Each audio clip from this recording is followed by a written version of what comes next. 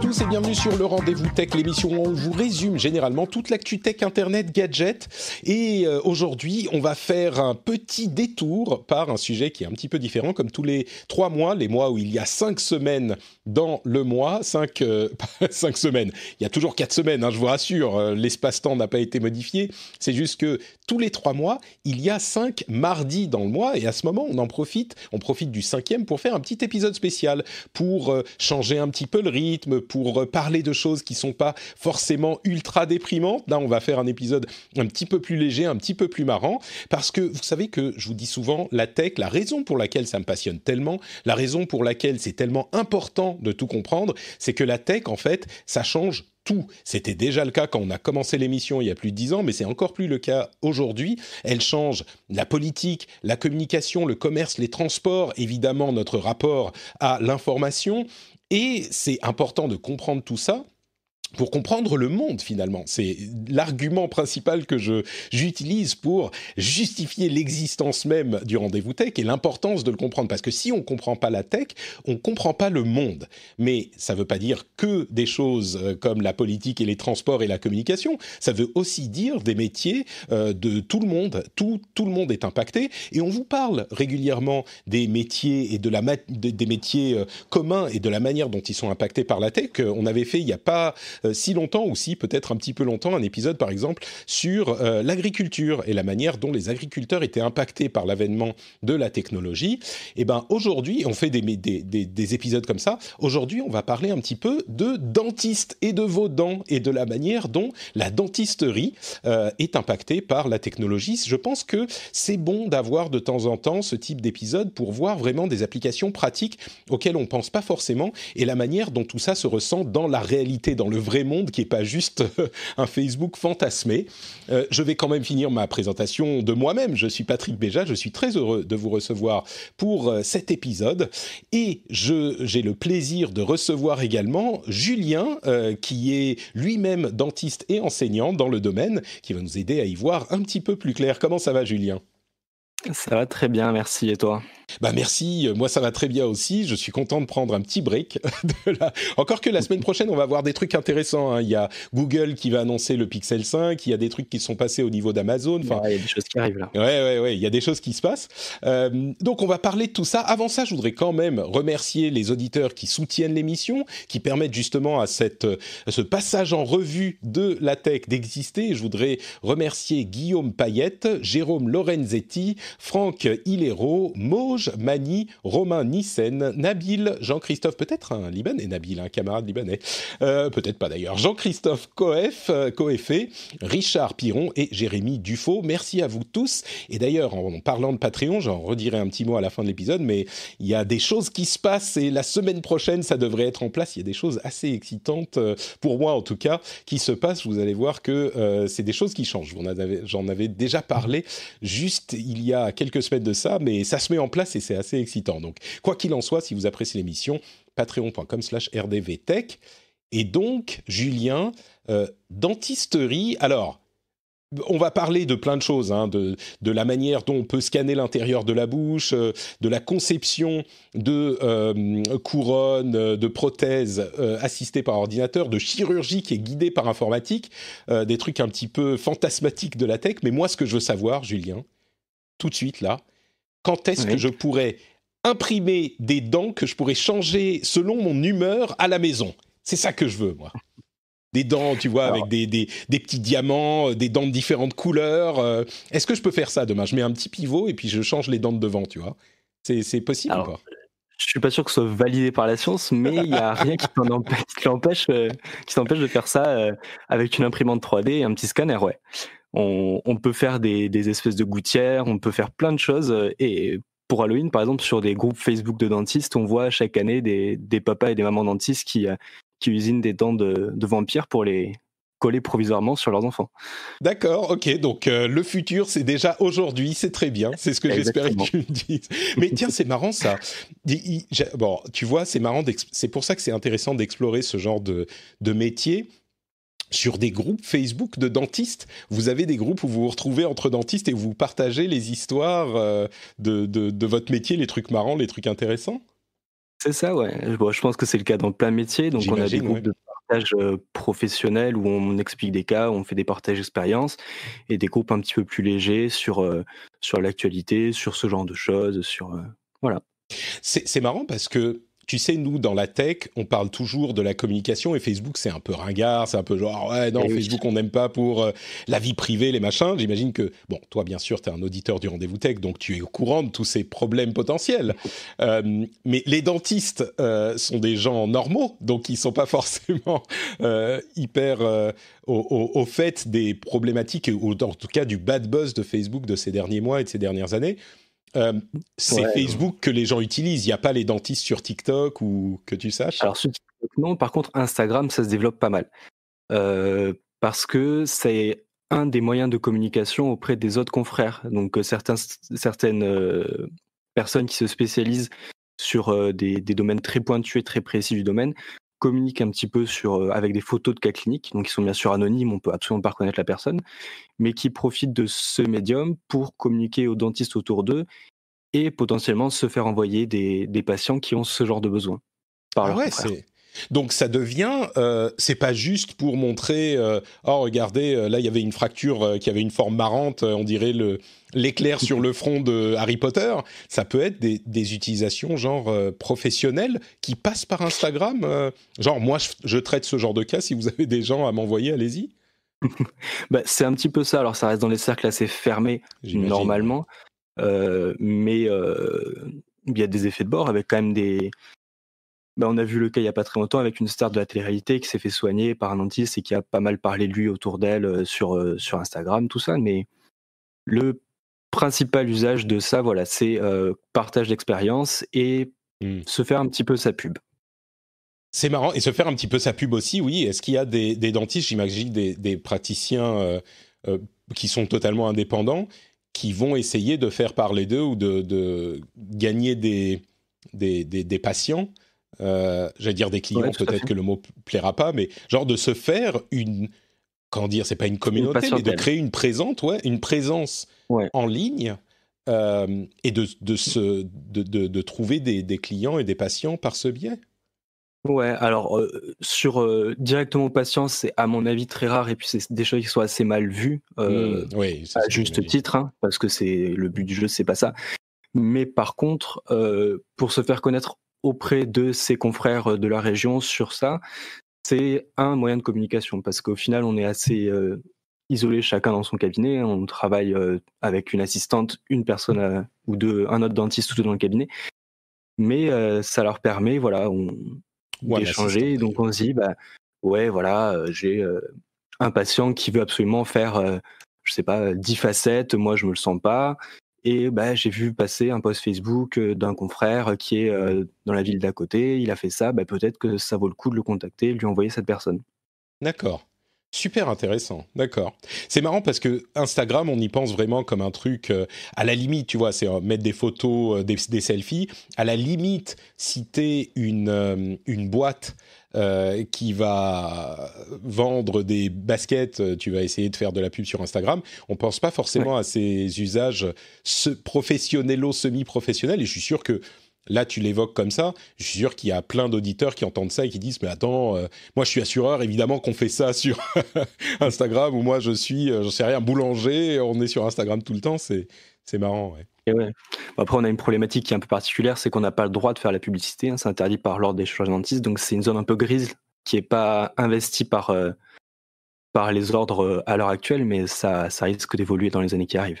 C'est vrai que les médecins en France euh, n'ont pas le droit de faire de publicité et du coup ça peut être, oui comme tu le dis, ça peut glisser un peu de manière, on va dire, intéressante. C'est encore un milieu. Pour l'instant c'est une zone grise. Ouais, d'accord. Bon, écoute, j'aimerais qu'on euh, qu'on parle un petit peu plus euh, tech spécifique à mhm. la, la, dentisterie. Et euh, tu m'as donné trois sujets essentiels, trois sujets principaux dont on peut parler. Les deux premiers sont peut-être un petit peu ce qu'on peut imaginer, mais j'aimerais qu'on se concentre sur ce, qui, ce que ça change pour les praticiens dans la vie de tous les jours, dans le travail de tous les jours. Puis le troisième est un peu plus science-fictionnesque, peut-être avec la chirurgie guidée par, par informatique.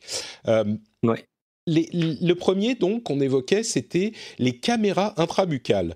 Euh, moi, je vais raconter ma vie aux auditeurs. Hein, je suis sûr que c'est aussi pour ça qu'ils viennent dans l'émission. J'ai été chez le dentiste il y a une semaine et il m'a fait un scan des dents avec une caméra dans la bouche qui faisait, qu'il déplaçait euh, un petit peu comme on fait les panoramas avec le téléphone quand on, tourne euh, autour de soi et ça nous fait une photo panorama. Il déplaçait et ça a fait une, une, photo panoramique des dents hyper précise. C'était une photo comme, à la limite, si j'avais pu ouvrir la bouche assez grand, il aurait pu mettre un iPhone dedans. C'était à peu près le même truc, euh, peut-être un petit peu plus précis. Mais d'une part, euh, est-ce que c'est bien à ça que ça sert? Et d'autre part, pourquoi c'est tellement important Qu'est-ce que ça change par rapport à la manière dont on faisait les choses avant, avec peut-être le, modèle avec la patte qu'il fallait mordre, qui était ignoble ou ce genre de choses? Mais voilà, c'est exactement ça, la patte ignoble. Alors la caméra optique, ça se développe. Euh, il y a encore assez peu de cabinets qui sont équipés. Euh, sur, le plan du patient, c'est le confort qui change pas mal quand même, puisque comme tu l'as dit, la pâte c'est jamais très agréable. On peut avoir envie de vomir, euh, le goût est pas toujours top, ça dure un peu longtemps. La caméra, ça permet, c'est presque à distance. Il n'y a pas de, on n'a pas à pousser la langue, on n'a pas tout ça à faire. T'as pas de contact avec les dents, quoi. C'est à distance, c'est pas qu'on utilise la 5G pour euh, envoyer des photos. c'est qu'on est à un centimètre de, des dents, quoi. C'est ça. Mm.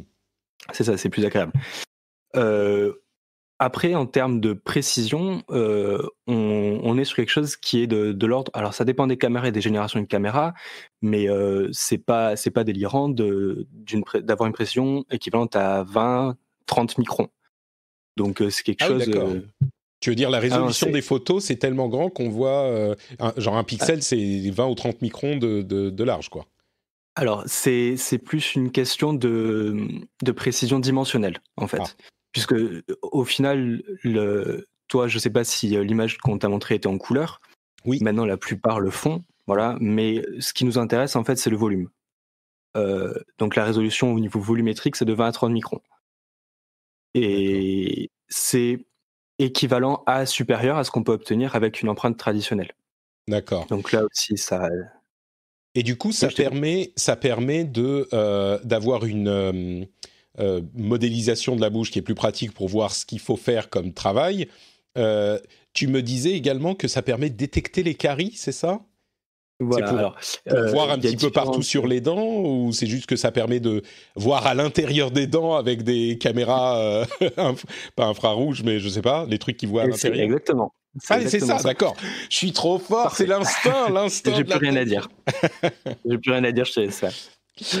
Euh, alors ça dépend des générations de caméras, mais les toutes dernières qui arrivent sur le marché là, en fait, en un scan, elles permettent d'avoir un état des lieux, euh, donc de voir effectivement la bouche, même si c'est pas par ça que va passer le diagnostic. Euh, on va quand même utiliser nos yeux pour, euh, pour aller tout vérifier. Mmh. Ça permet surtout d'avoir une traçabilité, de communiquer avec le patient, de lui montrer, ben voilà, votre dent, elle a cette partie qui manque.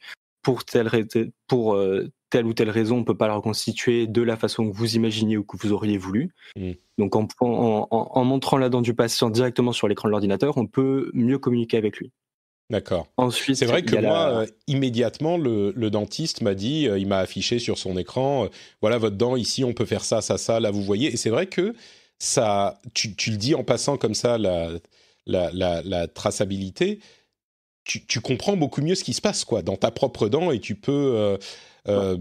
c'est même pas une question d'accepter, c'est que tu vois le truc et tu dis, ok, c'est comme ça, je le comprends. c'est une question de compréhension. Ouais, ça paraît un peu magique, c'est des choses qu'on ne voit pas, on ressent un petit peu avec la langue, mais on n'a pas on ne sait pas comment ça marche. Et mmh. c'est vrai que ça, c'est quelque chose que j'aime beaucoup faire, expliquer aux patients euh, ben, pourquoi on fait ça plutôt que de lui dire ouvrez la bouche, euh, on travaille 20 minutes et puis c'est terminé. Quoi. Mmh. donc il y a là la traçabilité pour voir l'évolution des choses, euh, voir si les dents bougent, voir s'il y a, je sais pas, des colorations qui apparaissent, la gencive qui se rétracte. En scannant à, intervalles réguliers la bouche du patient, on peut lui montrer l'évolution dans le temps de sa bouche. Mmh. Ensuite, il y a effectivement donc l'infrarouge dont tu parlais. Euh, les dernières générations, elles permettent de faire à la fois l'empreinte volumétrique, la, la, photo des dents, et de regarder par infrarouge à travers les dents, puisque bon, très très rapide pour anatomie, il y a deux tissus dans la dent principaux, c'est l'émail qu'on voit, la partie blanche, et la dentine qui est en dessous, qui sert de, structure, l'émail il est transparent aux infrarouges. Et mmh. donc ces caméras qui voient par infrarouge voient au travers de l'émail directement la dentine et la carie, elle est très réfléchissante aux infrarouges. Et ça permet de détecter des choses qu'à l'œil nu, on aurait peut-être pu louper. Donc ça veut dire qu'on peut mieux détecter euh, les problèmes, bon les caries spécifiquement, avec ces appareils, avec ces technologies, qu'on ne le ferait en regardant avec nos yeux ou même euh, avec des, des, choses plus lourdes, euh, besoin d'aller faire un scan avec la machine qui tourne autour et tout quoi. Alors voilà, donc ça c'est pour toute la bouche, mais même si on fait des petites radios des dents, bah, ça permet toujours d'éviter des rayonnements ionisants. Mmh. Donc c'est toujours bon à prendre. Oui, donc c'est juste de l'infrarouge, ça pose pas de, de problème de santé. Non, voilà. Je, un, point que je veux préciser, du coup, euh, moi je pensais à la photo donc qui est 2D, mais ça fait une modélisation 3D de la bouche aussi. C'est pour euh, si on veut faire euh, fabriquer, on y viendra dans un instant. Si on veut faire fabriquer des prothèses ou des couronnes ou des choses comme ça, avec cette simple caméra, ça fait également, c'est pas juste un appareil photo, c'est il y a un, enfin je sais pas un lidar ou un truc qui Exactement. C'est un lidar, effectivement Alors, il y, a plusieurs façons de faire. Alors, la caméra que tu as, vue avec ton praticien, c'était peut-être une caméra simplement photo. Moi, j'en ai une aussi au cabinet. Ça permet effectivement, là, surtout de communiquer, de garder trace. Mais toutes les fonctions dont je parle là, c'est pas une simple photo, c'est des machines qui sont beaucoup plus élaborées et qui fonctionnent sur différents principes qui sont en cours d'évolution et les fabricants sont pas toujours très très friands dans leur communication de comment ça fonctionne sous le capot. D'accord. Mais euh, ce qu'on en sait, ouais, voilà. Euh, mais, oui. Non, non, vas-y, vas-y, fini. J'ai une autre question, j'ai plein de questions après. rapidement sur les technologies qui sont employées, parce que euh, là, ça va résonner. Par contre, il y a des technologies qui se rapprochent du Face ID, en fait, avec une mmh. projection infrarouge de grille ou de points qui est analysée et qui permet de reconstituer en 3D. Il y a aussi des lidars, il y a des, des caméras qui fonctionnent par, euh, par focus, c'est-à-dire qu'ils ont un petit miroir qui avance et qui recule très vite, et en voyant à quel moment euh, un point de la dent est euh, parfaitement net et à quel moment il n'est plus net, voir à quelle distance de la caméra il est. Je ne sais pas si je suis très mmh. clair. Si, si, avec le flou, tu peux déterminer, là, je comprends. Avec la, j'imagine, sa profondeur focale qui est Exactement. Mais du coup, euh, on évoque des technologies qui sont en train, qui sont déjà ou qui sont en train d'arriver dans les appareils mobiles. J'imagine que euh, tout ça, comme beaucoup de technologies euh, à, ces dernières années, se sont développées avec les miniaturisations qui ont été rendues possibles par le développement de, des smartphones. Ou peut-être que ça s'est fait en parallèle, mais est-ce que c'est des, des, choses qui sont, tu crois, en lien ou peut-être que tu n'es pas euh, exactement au courant de la manière dont ça s'est développé, mais. En lien, je suis pas sûr parce que les pionniers sont arrivés avant le Kinect, tout ce genre de technologie. Hmm. Ça vient plus souvent de technologies médicales en fait. D'accord. Euh, qui sont adaptées euh, à, notre usage. D'accord, je comprends. Oui, et c'est vrai que c'est peut-être des choses plus spécifiques et plus, comment dire, développé et plus cher que euh, ce qu'on peut avoir dans notre smartphone. Bah, c'est ouais, c'est à destination de beaucoup moins de monde, donc euh, forcément c'est c'est un petit peu différent. Du coup, euh, un, aspect qui m'intéresse beaucoup, moi, c'est de savoir ce que ça change pour vous, pour les praticiens. bon, plus de sécurité, plus de machin, mais est-ce que ça vous facilite la vie? Est-ce que ça vous permet de faire plus de choses? Au quotidien. Peut-être que c'est le cas pour les caméras intrabuccales et tu peux nous mentionner la, la CFAO aussi éventuellement, dont on va parler dans un instant. Mais qu'est-ce que ça change pour les dentistes en fait? Parce qu'effectivement, ça va s'enchaîner avec la CFAO. Mais euh, pour les dentistes, il y a alors une fois la courbe d'apprentissage passée, parce que mine de rien, c'est pas juste passer une caméra euh, pop pop sur les dents, ça demande un certain apprentissage et ça peut prendre mmh. jusqu'à, selon les caméras, 5 à 10 minutes pour faire un scan complet de la bouche. Mmh. Euh, ça permet pas mal de choses au quotidien. Déjà, ça permet une modélisation de ce qu'on vient de faire. Donc, euh, un, cas pratique, euh, sur un patient, je dois lui faire une couronne. Donc, je dois donner à la dent une forme spécifique qui doit laisser suffisamment de place au futur matériau de la couronne en, épaisseur. Et le fait de scanner juste après avoir travaillé, je peux ensuite analyser sur l'ordinateur, vérifier que ben, j'ai suffisamment enlevé dedans, que à, mmh. en particulier, j'aurai pas trop peu d'épaisseur, qui amène un risque de casse euh, de la future prothèse. Je peux... Mais du coup, avant, vous faisiez comment? C'est un petit peu les questions qui me viennent là. Tous ces trucs, c'est, ça a l'air cool, mais avant, euh, vous faisiez comment pour savoir s'il y avait une carie Il fallait faire des radios, c'était moins précis. C'est comme une photo qui était floue et il fallait deviner. Et maintenant, elle est nette ou? Alors euh, là, il y a deux choses du tout coup dont on parle. Moi, je parlais euh, quand on quand on prépare une dent pour la prothèse. Par rapport au caries, bah, c'est l'expérience du praticien, c'est les sensibilités du patient, c'est visuellement une, coloration par transparence qui, qui nous amène à peut-être faire une petite radio pour confirmer ou infirmer mmh. notre suspicion. Mais ce que je c'est ce que je veux dire avec le flou qui devient net. C'était pas littéralement une photo floue qui devient nette. C'était, il fallait avoir un petit peu d'intuition, de métier, de pratique et essayer de deviner, tu vois. Et maintenant, on peut savoir très clairement. Alors, c'est là aussi une aide de diagnostic. C'est pas du 100% non plus, mais ça permet d'apporter un petit peu. Mmh. Sur, sur la détection de caries, c'est plus une fonction euh, à l'heure actuelle, c'est pas gadget, mais c'est les balbutiements et ça permet d'apporter quelque chose sans, sans, sans rayonnement ionisant. C'est pas non plus. Euh, mmh. La révolution, elle se trouve pas dans, dans, là-dedans. Est-ce qu'il y a des gens dans ton métier, sans donner de nom ou de quoi que ce soit, qui disent Ah, ça c'est des conneries, ces, ces gadgets, justement, ça peut nous laisser penser qu'on a bien compris le truc alors que rien ne remplace le métier, tu vois, je sais pas, des gens qui seraient un petit peu contre bah Alors, pas que, pas que j'ai rencontré, mais c'est sûr qu'il y en a. Les réfractaires au changement, il y en a toujours, et euh, surtout quand ça remet un petit peu en question leur, euh, leur expertise et leur, leur connaissance. D'accord. Ah, parce que, est-ce que, bah, c'est ça qui est intéressant aussi. Est-ce que ça peut remettre en question une forme de travail euh, et de, de, des méthodes peut-être un petit peu anciennes, euh, ce qui amène justement une résistance à, ce changement? Ou est-ce que c'est juste un ajout qui fait que les gens travaillent euh, plus vite, mieux Pour l'instant, c'est? vraiment un ajout. ça coexiste, ça cohabite. Mmh. Les, les, prothésistes sont à même de traiter des empreintes, qu'elles soient numériques ou physiques. Il n'y a aucun problème. Donc, c'est plus. c'est pas une menace pour les anciens, quoi. Voilà. Non, non, non, ils le regardent à la circonspection, mais euh, ils pourront finir leur carrière euh, sans ça. Hmm. D'accord, ouais. Mais est-ce que. Ouais, non, c'est une question qui est difficile, mais moi je me dis, c'est peut-être parce que je suis un petit peu technophile, je me dis, quelqu'un qui a une caméra de ce type-là qui va lui permettre d'avoir une vision plus précise de ce qui se passe euh, dans mes dents et sur mes dents, je préfère ça à quelqu'un qui n'a pas cet outil. Peut-être que je suis Bon, peut-être aussi que tu ne veux pas répondre. Mais... Non, non, non, tu as, raison quelque part. Euh, ça montre, euh, sinon, euh, un certain attrait pour, pour la technologie, ça montre aussi peut-être quelqu'un qui, qui, fait l'effort de, de, se tenir à la page. Mmh. Après, c'est un indice. ça ne veut pas forcément dire que quelqu'un qui a la caméra est meilleur que quelqu'un qui l'a pas. Voilà. Non, non mais ça peut être un indice. De toute façon, euh, j'en discutais avec des amis euh, assez récemment encore, il y a assez peu de façons de, connaître euh, son praticien sur, sur le plan de son travail. Donc c'est des indices comme ça qui peuvent faire que ben, mmh. on va aller vers quelqu'un et pas vers, vers un autre. Ouais, je comprends. Donc je te, je te, demandais ce que ça change pour vous, c'est plus de précision dans le travail, mais continue. Plus de précision dans le travail, plus de confort pour le patient et euh, une autocritique de son travail en immédiat, puisqu'on peut zoomer dessus beaucoup plus qu'on pourrait le faire en regardant juste avec nos yeux, modéliser la couronne, vérifier qu'on a suffisamment travaillé là-dedans pour que le matériau ait la place de passer.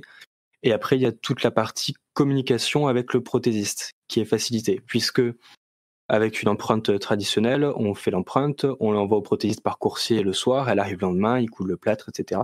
Là, on envoie le fichier STL directement par mail, et le prothésiste peut sans avoir besoin de couler le modèle ou de couler le modèle puis de le scanner lui chez lui, il travaille directement sur le fichier 3D. Donc ça permet une communication facilitée et plus rapide avec euh, les prothésistes. C'est-à-dire que lui, il va concevoir sa prothèse sur son fichier 3D, il va te l'envoyer, il va dire ouais, qu'est-ce que tu en penses? Là, je fais plus comme ci, plus comme ça. et puis ensuite, il après que vous ayez eu un accord euh, de principe, là, il lance la fabrication, c'est ça? Tout à fait. Donc cette communication, elle est facilitée, elle est accélérée. Et en plus, avec les caméras qui gardent des données euh, colorimétriques, ça permet de le, de le guider sur... Euh, par exemple, on fait une couronne sur une incisive, sur une dent euh, tout devant. il voit directement à quoi ressemble la dent d'à côté sur le scan 3D. Hmm. Au-delà de sa forme, il voit sa couleur, il peut voir quelques nuances, qu'après on peut compléter avec une photo. Et on peut avoir une sorte de simulation de ce que va donner la, la, couronne une fois en place avec la couleur qu'on lui a choisie, la forme qu'on lui a choisie, et avoir une image de la bouche. Ouais, d'accord. C'est Et ça permet de valider avec des patients qui, enfin, assez régulièrement, le prothésiste envoie une photo. Euh, est-ce que ça, ça va? On contacte le patient, on lui montre et on valide ensemble euh, sur des ah cas un petit peu esthétiques, un peu délicats. Euh, on valide avant de lancer la fabrication. C'est marrant parce que l'un des moyens de décrire la technologie et les avancées qu'ont permis la technologie, c'est qu'ont permis la technologie, c'est de dire ça permet de numériser plein de choses. Au début, c'était simple, ça a numérisé le texte, ça, puis ça a numérisé euh, les images, puis la vidéo, puis des business entiers ont été numérisés, le jeu vidéo a été entièrement numérisé, donc dématérialisé en fait. Et puis même, d'une certaine manière, on pensera à, Uber, mais il y en a plein d'autres, euh, Uber a numérisé une partie du business du transport, euh, Airbnb a numérisé une partie du business de la location, etc., etc.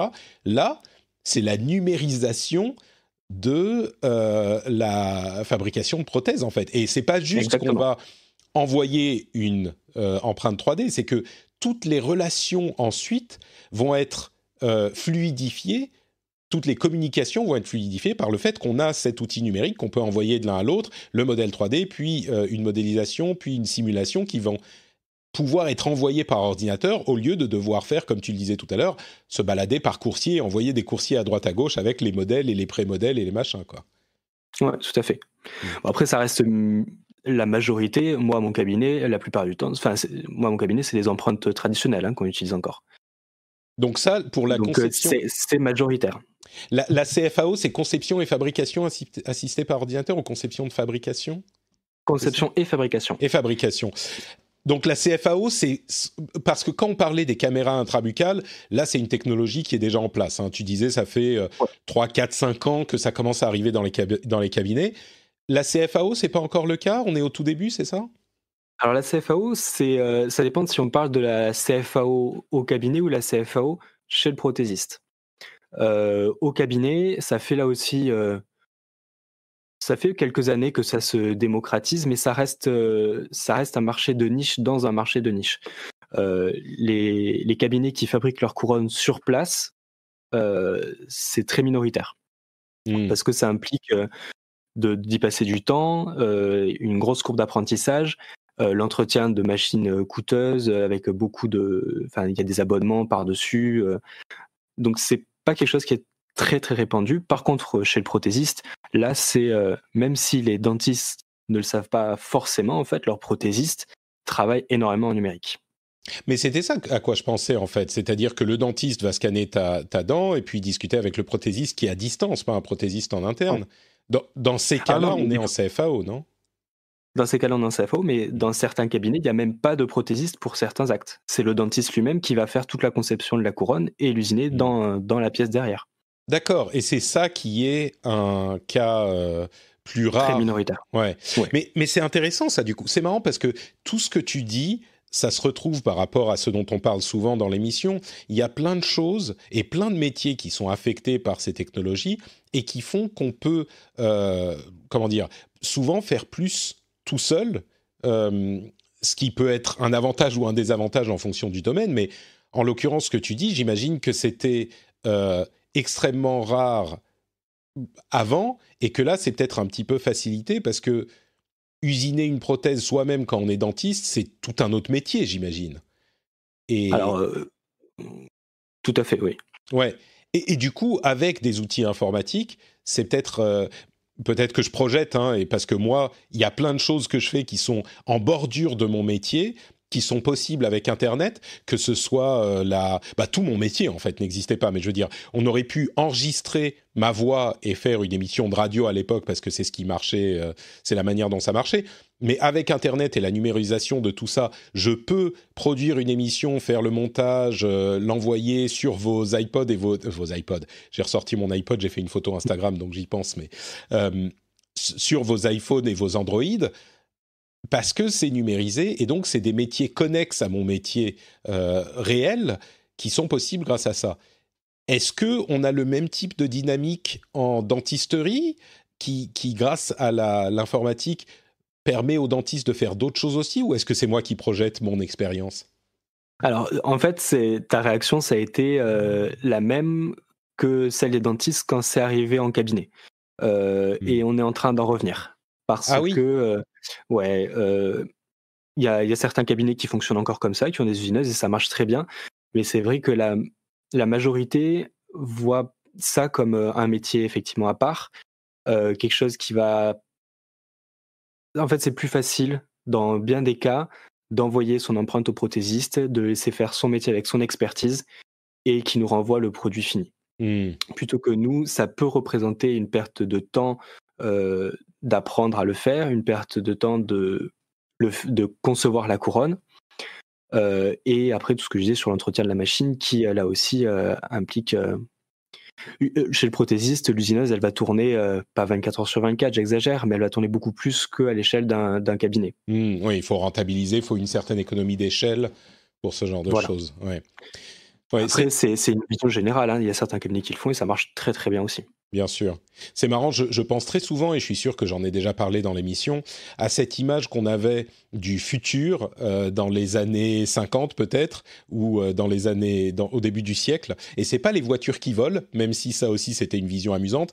Moi, ce celle qui me marque énormément, c'est celle des carottes râpées. Euh, il y a. J'espère que j'espère que j'en ai fait rigoler quelques-uns dans le bus. Euh, l'image des carottes râpées du futur, c'était que euh, toutes les maisons au monde auraient des machines à râper les carottes. Parce que les gens voyaient les ménagères de l'époque qui râpaient leurs carottes de manière un petit peu laborieuse, et disaient on aura des machines qui râpent les carottes automatiquement, on achète les carottes et on les râpe à la maison. Sauf que, évidemment, ce qui s'est passé, c'était un truc qu'on ne pouvait pas vraiment imaginer euh, vu de là-bas. C'était que au lieu de, de vendre des carottes entières et de les râper à la maison, bah c'est plus simple de les râper à l'usine, de les mettre dans un paquet en plastique et de les vendre déjà râpés dans le supermarché. Et ça, c'est tellement un truc qu'on pouvait pas imaginer, que personne n'y avait pensé. Et euh, bon, c'est pas, la, je t'accorderai que la comparaison est un petit peu capillotractée, mais c'est toujours ce que ça m'évoque. Là, en fait, ça sert à rien de se dire, on va tous usiner nos prothèses euh, dans notre cabinet, même si la technologie pourrait le permettre un petit peu plus qu'à l'époque, encore que on pouvait peut-être les tailler soi-même à l'époque aussi. Mais dans tous les cas, ça sert à rien autant euh, faire euh, usiner les trucs par des prothésistes dont c'est le métier qui savent bien faire ça, même s'ils sont loin, même s'ils sont dans un autre pays peut-être parfois, et puis les envoyer, et, voilà, c'est plus simple. Mais bon. Ouais, c'est deux visions des choses. Après, ça présente quand même des avantages euh, notables d'usiner les, les, pièces prothétiques au cabinet. Hmm. C'est que on peut voir le patient faire l'empreinte et lui poser la pièce prothétique dans la même journée, voire dans la même séance. Hmm. D'accord. Bon, avantages et inconvénients, euh, c'est encore le début, quoi qu'il arrive. Chacun verra midi à sa porte. C'est ça. La dernière chose dont on voulait parler, c'était la chirurgie guidée par informatique. Et là, euh, j'imagine encore des choses absolument super futuristes, genre euh, le dentiste qui est chez lui et qui, par 5G, évidemment c'est par 5G, a une sorte de machine avec des petites, des petits, des faux ciseaux virtuels là, et il peut opérer les personnes à distance. Non, évidemment, c'est pas de ça qu'on parle quand on parle de chirurgie assistée par informatique. Alors, enfin, ça existe, hein, pas dans le dentaire, mais euh, là, la chirurgie assistée par, euh, par informatique, euh, je vais prendre un exemple très précis, ça va être la, la pose d'implant. C'est surtout là-dedans qu'on l'utilise. il existe des technologies qui se basent sur la triangulation. Donc, je, vais rentrer un tout petit peu, tout petit peu dans le détail. Tu m'arrêtes si c'est pas compréhensible ou si euh, je te fais confiance. aucun souci. Interrompre les gens, c'est ma spécialité. Donc, euh, on prend le cas de Madame Michu qui doit se faire poser un implant. Euh, elle va dans un cabinet qui est équipé de cette machine. On va lui faire faire une radio 3D avec un petit clip qu'on va venir euh, clipser euh, sur euh, les dents de la mâchoire. Donc, mettons que l'implant doit être posé en bas à droite. On va lui mettre un petit clip en bas à gauche pendant la radio, qui va être enregistré pendant la radio. Ensuite, sur un logiciel de conception, on va placer l'implant numériquement dans la radio 3D. D'ailleurs, on peut placer l'implant aussi en fonction de l'empreinte numérique qu'on a fait au préalable avec la caméra. C'est-à-dire qu'on va matcher la, radio 3D avec la modélisation 3D de la bouche. On va créer la couronne, on va poser l'implant en fonction de la couronne. Ok, jusque-là, je suis. Bon, on place l'implant euh, dans la mâchoire sur la radio, et ensuite on va passer au bloc.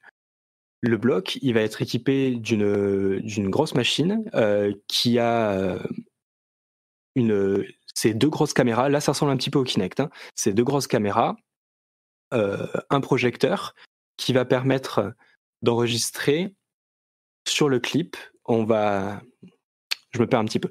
Sur le clip, pendant l'opération, on va euh, venir mettre un, manchon qui a un peu comme un QR code au bout, qui va être capté par la machine. Sur euh, l'outil du praticien, donc ce qu'on appelle une pièce à main chirurgicale, euh, on va avoir un autre QR code et la machine, grâce à ses caméras, en comparant le QR code qui est sur le clip sur la mâchoire et le clip qui est sur la pièce à main, va pouvoir repositionner l'un par rapport à l'autre. Hmm. Est-ce que je suis clair? Bah, En fait, tu me dis si j'ai bien compris, je schématise un petit peu, mais on va faire une modélisation 3D de la mâchoire, de l'implant. On va virtuellement placer l'implant dans la mâchoire, mais virtuellement, dans, juste en 3D, pour donner à la machine les, données nécessaires au, à ce, placement. Et puis, avec euh, des petits outils optiques, on va euh, permettre à la machine de placer et de guider le placement de l'implant euh, dans la vraie bouche du vrai patient grâce à cette simulation qu'on a fait euh, en amont, en fait. C'est ça que tu veux dire? Voilà, en fait, le, clip qui est sur la mâchoire du patient permet à la machine de savoir exactement la position de toute la mâchoire du patient. Hmm. Et le clip qui est sur la pièce à main permet à la machine de savoir exactement la position du forêt qui va servir à poser l'implant. Mais c'est assez précis ça, parce que de, ah, mon expérience, si tu es à un, dixième de millimètre euh, trop en bas ou trop en haut, ça peut faire très très mal. C'est vraiment assez précis. ah non, c'est plus précis que tout ce qu'on peut faire. Dans les mm. chirurgies d'idées, on peut utiliser des, des cales, euh, donc des, gouttières, et on passe le forêt à travers euh, des, des petits manchons. C'est moins précis que ce qu'on peut faire en numérique avec ça. Euh, alors le clip, il faut s'imaginer quand je dis un QR code, c'est un truc qui est, c'est un cylindre qui fait 10 euh, cm de haut par 3 euh, cm de diamètre, et il y a la même chose sur la sur la pièce à main du praticien. Attends, 10 par 3, ça tient pas dans la bouche, ça. Non, non. Alors, c'est clipsé sur le clip. tu as, un petit clip qui est posé sur les dents du patient et tu as une petite tige qui sort de la bouche mmh. et qui, elle, est scannée par la machine. D'accord, donc a priori, comme tout ça est solide euh, et les, les euh, frame of reference, je ne sais plus comment on dit en français, enfin les, les, les trames de référence restent euh, attachées, quand tu sais, même si c'est un peu plus loin, comme c'est très rigide, tu sais toujours où est chaque truc. Et le QR code, oui, c'est pas. J'ai vu des photos, c'est c'est assez gros, quoi. C'est pas un tout petit truc. C'est assez gros. Hmm. Donc ça permet en fait, comme c'est solidaire à la mâchoire, comme tu le dis, les machines, c'est exactement la position de l'intégralité de la mâchoire du patient. Mmh Comme il connaît la position de, l'outil, il peut en comparant les deux savoir où est l'outil par rapport au clip et donc par rapport à l'implant et au futur implant. D'accord. Mais du coup, il, va guider. Quand on dit il va guider la main du dentiste, c'est quel euh, type de guidage? Parce que à la limite, quand il a toutes ces informations, il a le. Je parle de il, je dis la machine. Quand elle a toutes ces informations, qu'elle a la simulation euh, virtuelle, est-ce qu'elle pourrait pas faire la chose presque toute seule en fait? Alors peut-être dans le futur. À l'heure actuelle, c'est pas une technologie qui existe. D'accord. En tout cas alors, ce qui existe. Euh, Attends, finissons peut-être avec ce qui existe déjà. Donc, on a ces gros QR codes, le SCAD virtuel, le machin. Qu'est-ce qu'il fait le dentiste avec ça? C'est juste qu'il fait son opération et puis euh, la machine lui dit bip bip, vous vous approchez trop de la racine euh, ou un truc comme ça? Alors, en fait, là, quand on pose l'implant dans ces conditions-là, on regarde même pas dans la bouche du patient. ah oui? Ah ouais, c'est tout sur l'écran en fait, euh, on, s'approche, on regarde un petit peu pour se rapprocher, mais dès que l'acte précis débute, on a un écran qui est sur la machine avec quatre images différentes. Euh, quatre images, il y en a trois qui correspondent aux différentes coupes radiologiques. Donc en fait, le praticien ne pose pas l'implant en regardant dans la bouche, il pose l'implant sur la radio directement. D'accord. Il, voit sur la radio apparaître son outil et il enfonce son outil en regardant sur la radio où il est. Je ne sais pas si je suis très clair. Oui, oui, c'est un peu difficile à définir. c'est très clair, c'est très clair, mais, mais la radio, c'est pas une radio qui est en temps réel, c'est la radio qu'on a pris avant. Tout à fait. Mais du coup, comme avec le petit clip qui est sur les dents, on hmm. recale la radio par rapport à la mâchoire physique du patient, ça, les deux correspondent. Et donc, euh, ça permet de ne pas avoir une vision de surface du site opératoire. On le voit dans toutes les dimensions de l'espace en coupe. D'accord. Donc, effectivement, on a une modélisation 3D de la mâchoire et puis les outils qui sont placés grâce à ces capteurs euh, dans cette simulation 3D euh, qu'on a fait auparavant. Et donc, on va placer les, faire l'opération sur cette simulation, en fait. C'est ça. C'est ouais, c'est assez impressionnant. C'est c'est une virtualisation de, la chose. C'est marrant parce que j'imagine qu'il y a beaucoup de médecine euh, assistée par ordinateur ou de chirurgie guidée par, euh, par informatique qui fonctionne de cette manière, mais ou, ou approximativement de cette manière. Mais en fait, quand on conceptualise bien le truc, on est tout repose sur le placement euh, très précis de l'outil dans la bouche et dans la dent. Tout le reste euh, importe peu au final. Tant qu'on a la bonne image, on sait qu'elle n'a pas bougé. ce qu'il faut, c'est que ça soit hyper précis comme placement. Et si on a ça qui est pris en compte, c'est bon. C'est ça. Hmm. Donc on, ne pose même pas vraiment sur le patient, on, pourrait, enfin, on pose dans la modélisation comme tu le dis. Et donc il y, a, les trois coupes dans les trois plans de l'espace, et ensuite on a une, une autre euh, représentation où là, c'est vraiment la modélisation 3D de la mâchoire du patient et il y a l'outil qui apparaît dessus hmm. et il faut aligner une cible. Quand c'est aligné, euh, quand l'axe de l'outil est aligné avec ce que veut la machine, ça devient vert. On peut commencer à fraiser. Et puis là, pareil, la profondeur, quelque chose qu'on a un peu de mal à évaluer. euh, Enfin, on l'évalue bien visuellement, mais on a la machine qui nous dit littéralement, là on est à 1 mm, là à 2 mm, là à 3 mm, et on a une, une profondeur cible qui clignote quand on y est, et puis on s'arrête.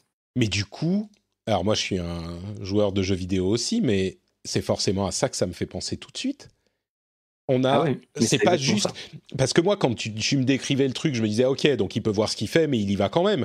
Comme on a évidemment déjà placé l'implant dans la simulation, euh, la machine sait où on doit aller et donc elle te guide comme un jeu vidéo. Euh, c'est genre euh, quand c'est vert, vas-y fraise, mais sinon ça fait bip bip bip, arrête-toi. c'est ça. D'accord. Donc c'est. C'est vraiment ça.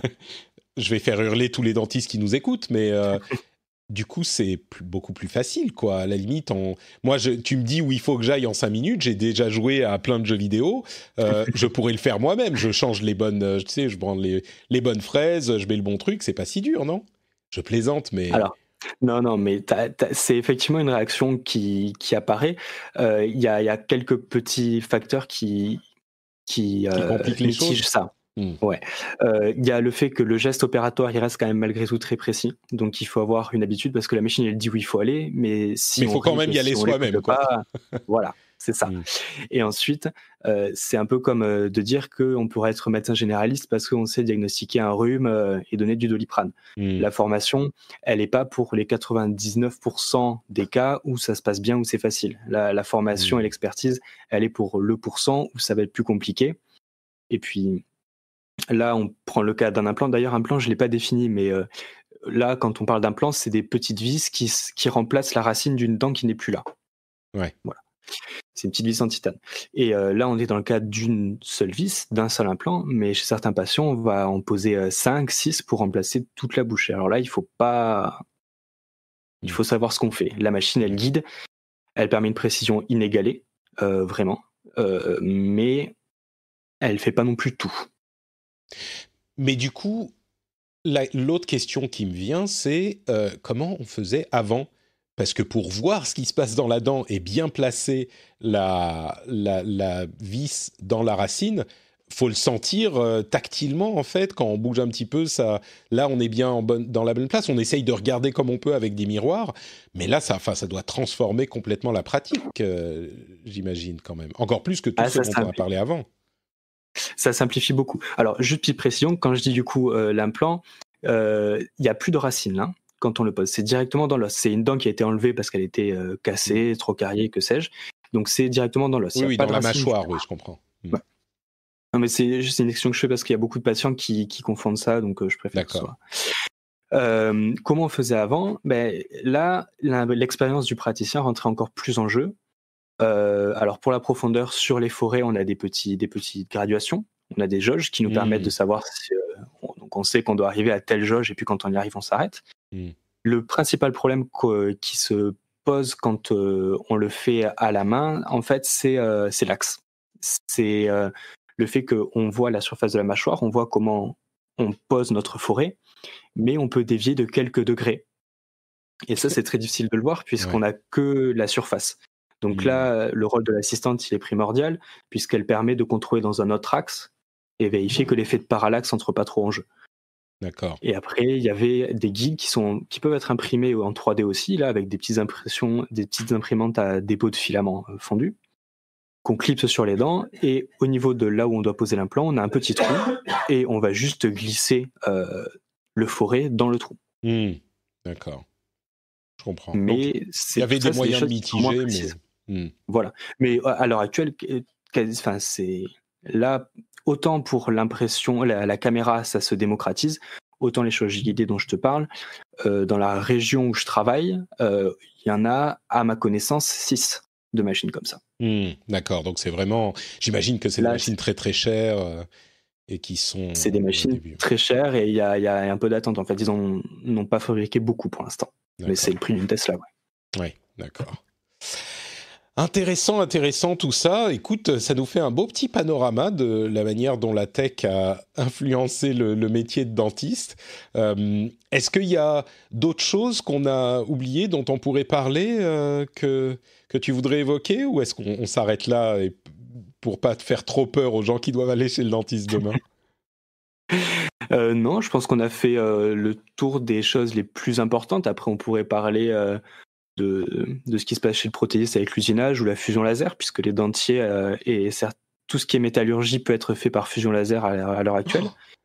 Mais euh, écoute, on va juste faire. Fais-moi une minute sur la fusion laser parce que tu peux pas me dire fusion laser et pas, en parler plus. Je l'ai fait exprès. Hein. Je, ne vais pas lancer innocemment. très très habile, très habile, Julien. Euh, donc oui, euh, tout ce qui est métallurgie, avant c'était réalisé par euh, méthode de cire perdue, donc le produit faisait la forme en cire, et après par un procédé qui est connu depuis l'Antiquité, il le transformait en métal. à l'heure actuelle, c'est de l'impression 3D additive, donc on a une machine qui fait une pièce de 20 mètres carrés en gros, qui va déposer une couche de poudre métallique de 20 microns d'épaisseur, par exemple, le laser va venir frapper la poudre et la fusionner selon un motif précis. Puis mmh. on descend la plateforme de 20 microns, on remet 20 microns de poudre et on refusionne. Et par addition de couches successives, on finit par, euh, par faire la forme ben, ou du dentier ou de l'armature qui va servir à faire euh, la couronne, ce genre de choses. Et c'est récent ça, c'est de la, technologie d'impression 3D. Euh, ça, ressemble au dépôt de filaments que tu évoquais tout à l'heure, mais en plus, donc c'est relativement récent, ça fait moins de 10 ans que ça existe ce genre de choses, j'imagine. Ça fait une dizaine d'années que c'est euh, démocratique. Après, ça, ça existe depuis un peu plus longtemps que ça en, preuve de concept, mais euh, les, machines à usage euh, grand public, une dizaine d'années, c'est à peu près ça. Est-ce que du coup, on revient au début de l'émission, est-ce que je vais pouvoir me faire mes dents avec mon imprimante 3D moi-même, tranquillement, une pièce de 20 mètres carrés avec des, des couches de 20 microns ça risque d'être. Mais tu parlais des euh, dents de vampires qui, ont, qui sont faites pour leurs enfants. Il y a des gens qui s'amusent avec ce genre de choses, j'imagine. Enfin, c'est même pas, c'est ce que tu me dis. Qu'est-ce qu'on peut faire comme euh, trucs marrants qui sont ah, bah, pas trop sanctionnés, mais qui, qui font quand même? Ah, Au niveau des dents en particulier ou euh, mais de tout, avec toutes ces machines, je suis sûr qu'il y a des laborantins et des prothésistes qui s'amusent à faire des trucs. Ah oui, c'est sûr. Il y a, ma prothésiste m'avait proposé de, de coller sur un de ses, un de ses amis qui était fan de métal, il voulait faire une couronne avec une petite tête de mort dessus. Qu'on verrait pas ou genre sur la. Ah si si si. Ah oui, d'accord. Si, si, si. Mais quand tu dis une petite tête de mort, c'est genre une, une, dent qui a une tête de mort gravée dans la dent? C'est pas juste un dessin de tête de mort? Ah non, non, c'était, euh, c'était même plus que gravé, c'était en, relief, en, positif sur, euh, sur la couronne. Ah oui, d'accord. Ok, écoute, pourquoi pas Donc il y, a des patients, euh, des, des, strass, des choses comme ça, ça se fait, ouais. Et puis mm. après, au niveau de l'impression générale, n'importe quel fichier STL qui fait moins de 10 cm par 10 cm peut être imprimé avec ce genre de choses, quoi. Ah, STL, c'est un format de fichier de, de, 3D, de, de, modélisation 3D. Mais donc, j'imagine qu'on peut trouver des fichiers STL de, plein de choses. On pourrait imaginer ah bah. euh, effectivement faire euh, un, une dent avec un Totoro au lieu de la dent. Ah, euh. mais tu vas sur Thingiverse et tu télécharges ton, tu télécharges ton truc et c'est parti quoi. Bah, J'allais dire c'est marrant que ça, ça se voit pas plus, que ça n'existe pas plus. Mais si l'idée est marrante, le fait de se balader avec une dent euh, fantasy comme ça, le truc. Assumer. Ouais, c'est ça. Et puis les dents, c'est quand même un truc un petit peu particulier, quoi. C'est pas un truc avec lequel tu joues beaucoup. Je suis sûr que ça se fait, hein, de la même manière qu'il y a des de la scarification, ah, des oui, bon, des rappeurs effectivement, beaucoup. Euh, mais et des, des, des, des comment dire, des tatouages, des piercings, il y a plein de choses qui se mhm. font le truc qui serait marrant, c'est d'avoir une sorte de vis pour la dent et tu peux dévisser la dent ou la déclipser et puis en mettre une autre en fonction de ton humeur. C'est ce que je disais tout à l'heure. Mais peut-être que c'est pas assez stable encore pour, euh, pour les dents. Oh, mais tu sais, tu sais que les, les, les, implants dont on parlait tout à l'heure, il y a deux façons de solidariser la couronne à l'implant et l'une d'entre elles, c'est en vissant.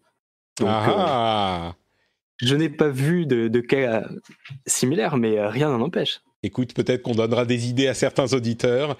si c'est votre truc, euh, vous pouvez nous, nous, envoyer des photos sur, euh, sur, le sur les commentaires. On, on, regardera tout ça avec attention. Bon, bah merci Julien, c'était fort sympathique et fort instructif, ce petit, cette petite discussion. Euh, Est-ce que tu as une présence sur Internet dont tu veux nous parler ou c'est pas la peine, un compte Twitter, quelque chose comme ça? J'ai une présence, mais euh, comme je disais tout à l'heure, par rapport à la publicité, je préfère pas trop euh, parler d'une quelconque présence euh, où qu'elle soit. Ça marche. Ceux qui me connaissent m'auront reconnu. T'auront reconnu, très très bien. Merci beaucoup Julien, c'était euh, fort sympathique de t'avoir pour cette petite heure. Pour ma part, c'est comme toujours notre Patrick, vous le savez, je suis sur Twitter, Facebook, Instagram. On a aussi un euh, super Discord où on peut discuter de tout ce, ce dont on parle dans les épisodes. Euh, vous avez le lien vers le Discord sur notrepatrick.com, le Discord où on peut discuter des derniers épisodes dans la partie publique de, de tous les toutes les émissions que je fais, vous pouvez venir vous joindre à nous. On a euh, vraiment de, on passe de bons moments. Euh, vous pouvez également euh, souscrire à la newsletter, là encore sur notrepatrick.com. Il y a tous les liens hein, sur notrepatrick.com. Vous, vous en souviendrez, c'est très facile. La newsletter, si vous voulez des infos sur ce qui s'est passé dans la tech, le plus important à retenir, bah, vous pouvez vous abonner à la newsletter dans la tech et dans le jeu vidéo. c'est une newsletter que je fais toutes les semaines où je réunis les articles les plus intéressants de la veille que je fais. Vous savez que je, j'écume des centaines d'articles toutes les semaines, donc vous avez vraiment le meilleur du meilleur dans cette newsletter.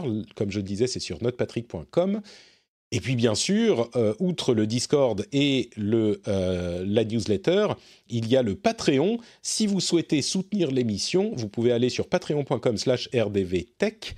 Euh, là encore, le lien est sur notepatrick.com ou alors directement dans les notes de l'émission.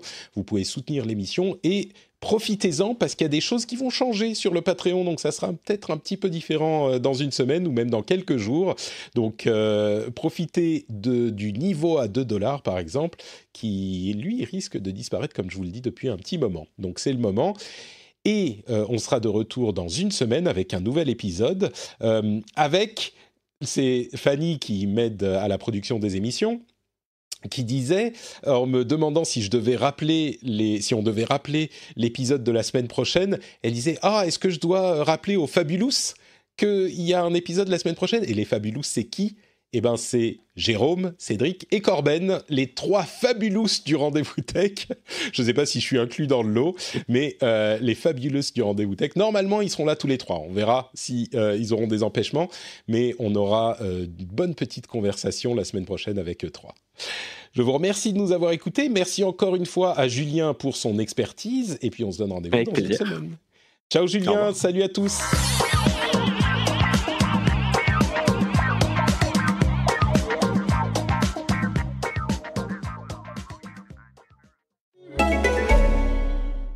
Bonjour, c'est Marie du podcast Sois sage et parle fort. Cette semaine, Sois sage et parle fort a été sélectionné par ACAS Recommande et j'en suis super fière. Sois sage et parle fort, c'est le podcast pour oser, ne plus se conformer, rire, parfois pleurer, débattre de sujets et témoignages variés. Je suis Marie et j'ai décidé de ne plus être sage et de parler fort, très fort, de tout ce qu'on ne dit jamais. Dénoncer, partager. Sur Instagram, je suis Marie la graine et c'est un peu cela, Sois sage et parle fort, semer des graines et voir si ça donne quelque chose. Alors, à tout de suite sur l'application Acast ou n'importe quelle application de ton choix.